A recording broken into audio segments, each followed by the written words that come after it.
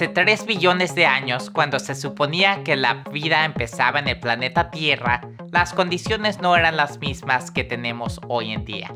De hecho, la Tierra probablemente estaba cubierta de océanos de agua hirviendo. Una teoría muy favorecida es que la vida surgió en forma de simples organismos, de materia inerte, no viva, cerca de un mar profundo con fisuras hidrotérmicas. Un caldo primigenio con los elementos esenciales necesarios para la vida, por ejemplo, carbono, hidrógeno, oxígeno, azufre, fósforo, dieron lugar a nucleótidos que forman el ácido ribonucleico, el ácido desoxirribonucleico y aminoácidos que forman proteínas. Hoy en día las temperaturas de los líquidos que salen de las fisuras hidrotérmicas exceden los 300 grados Celsius, que es mucho más caliente de lo que la vida puede tolerar. De hecho, el límite alto para la vida es de cerca de 120 grados Celsius, como máximo. Por lo tanto, la teoría es que la vida empezó cerca de los orificios o fisuras de aguas hidrotermales. Las primeras exploraciones del fondo del océano que descubrieron estas fisuras en los años 70 encontraron estos florecientes ecosistemas en un ambiente por lo demás frío y desértico en el fondo del océano. Durante el siglo pasado, hemos estado más y más informados de que los microbios en la Tierra surgieron en fuentes termales como las que se encuentran en el Parque Nacional de Yellowstone o en fisuras de vapor al lado de volcanes, como cerca del Vesubio en Italia. Recordemos las historias de Pompeya. Y estos microbios se encuentran en condiciones favorables hasta en el punto de ebullición del agua. Estos microbios se pueden considerar nuestros antepasados. La evolución surgió en la dirección de altas y bajas temperaturas. Estos microbios amantes del calor termófilos son las reliquias de tiempos pasados en nuestro planeta. Pero ahora que el cambio climático se encuentra al frente, nos dirigimos hacia un aumento de la temperatura de la Tierra hasta el punto de que la vida, en general, tendrá que ajustarse una vez más a altas temperaturas. ¿Tendrán los humanos que volverse más termófilos, griego para amantes del calor? El cambio climático afecta a nuestro planeta las variaciones del clima son cada vez más extremas.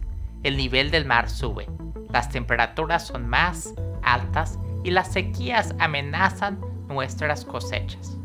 Los investigadores usan ingeniería genética para desarrollar cultivos que son más resistentes al cambio climático para poder alimentar a la población humana. Algunos piensan que los microbios extremófilos son capaces de prosperar en condiciones extremas y eso puede ser exactamente lo que necesitamos. Los extremófilos poseen características únicas que han demostrado ser útiles para la producción de moléculas esenciales que son estables a altas o bajas temperaturas, extremos de pH, alta presión e incluso en la presencia de contaminantes tóxicos. Por ejemplo, algunos de estos microbios pueden proveer enzimas estables a temperatura y presión extrema que pueden utilizarse con fines de biodegradación y bioremediación en hábitats extremos, como fuente de biocombustible y bioenergía, o como fuente de pigmentos especializados para células solares capaces de trabajar en condiciones extremas, como los casquetes polares. Los microbios extremófilos pueden desempeñar un papel fundamental en la consecución de los objetivos de sostenibilidad de la bioeconomía. Aparte de los beneficios industriales, la investigación de extremófilos puede ayudarnos a comprender el funcionamiento de sistemas ecológicos extremos como aquellos que experimentan aumento de sequías o de temperatura. Durante las últimas décadas, los científicos e investigadores se han sentido fascinados por la vida microbiana presente en hábitat extremos. Los microbios presentes en estos medios y el ciclo bioquímico de los elementos de dichos ecosistemas pueden ayudarnos a entender los efectos del cambio climático.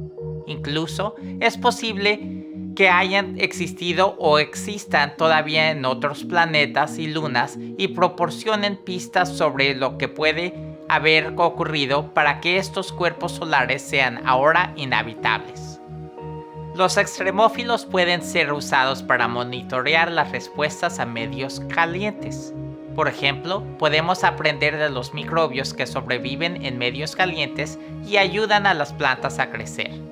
Podemos aprender acerca de las respuestas de los microbios que nos ayudan a planear cultivos resistentes al clima, cultivos bioenergéticos o reciclaje de productos. Cosechas de bajo costo y bajo mantenimiento que pueden ser usadas para producir energía y reducir la dependencia general de los combustibles fósiles necesitarán ser resistentes al cambio climático. Por lo tanto, los microbios que prosperan en ambientes naturales calientes y que pueden promover el crecimiento de las plantas tienen un gran potencial. Algunos microbios tienen mecanismos que pueden ser explorados para reciclar plásticos de forma más eficiente a las altas temperaturas. A lo largo de miles de años, estos organismos han desarrollado trucos genéticos para buscar nutrientes, resistir la sequía, coexistir con otros organismos vivos.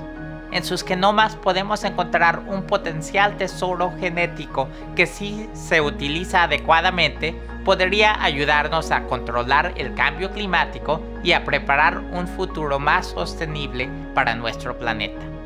Por ejemplo, los extremófilos tienen genes únicos que pueden producir enzimas más estables para uso industrial. La Fuerza Aérea de los Estados Unidos ha financiado trabajos en este ámbito para obtener información sobre la mejora de la salud de los soldados y la resistencia médica a condiciones extremas estresantes en combate. ¿Cómo pensarás de forma diferente sobre los microbios en algunos de estos entornos extremos?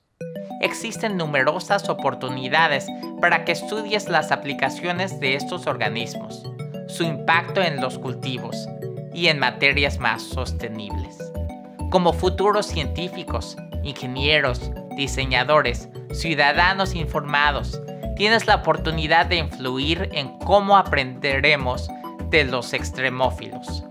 Puedes pasar a la acción realizando cursos basados en proyectos que te capaciten para abordar estos retos del mundo real. Hay numerosos investigadores en la Universidad Estatal de Carolina del Norte trabajando en estos retos y cursos como los que ofrece el programa de biotecnología BIT que puedes tomar. Nuestro campus también tiene oportunidades de investigación y compromiso para que te involucres en el descubrimiento, el intercambio y el aprendizaje.